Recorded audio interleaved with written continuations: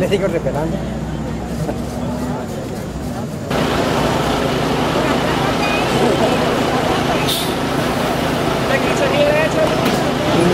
Y un abono. Y primero pues llegaba uno y se salían tres, cuatro buques llegaban. Ahorita no, ahorita te llegan a usted por decir algo, 500 mil pesos, tiene uno que los 500 mil para comprarse un millón.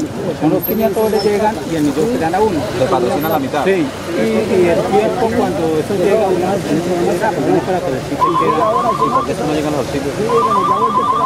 Ahí sí, quedan en manos de, pues, de los vivos, ¿cierto? Que todo hay, hay gente que se gusta vivir de, de, de pobre, nosotros trabajamos. Mi nombre es Juan Mendoza y vengo de Santa María. Cuente. Es que, vea, la, la, la, la problemática que tenemos del café es porque un palo de estos nos da mejor cortarlo que sostenerlo. ¿Cuánto creen que puede valer el sostenimiento de un palo de café de estos?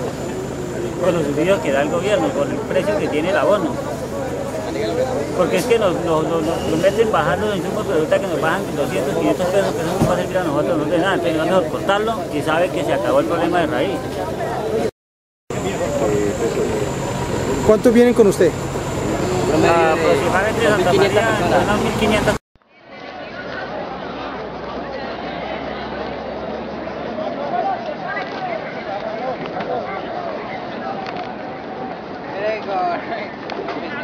Ahí,